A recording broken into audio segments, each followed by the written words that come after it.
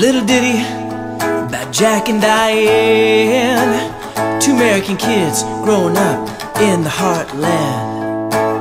Jackie gonna be a football star, Diane debutante backseat of Jackie's car.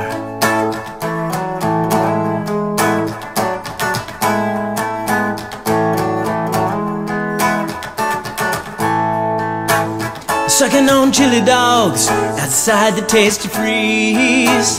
Diane sitting on Jackie's lap, she's got his hands between his knees. Jackie says, Hey Diane, let's run off behind the shady trees. Dribble off those Bobby Brooks, let me do what I please. And Jackie said, Oh yeah, say life goes on long after the thrill of living is gone.